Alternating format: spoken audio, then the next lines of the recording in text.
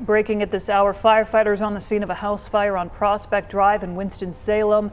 This fire department posting the video on Twitter, and you can see smoke just coming out of the windows of that home. No word on if anyone was injured in this fire.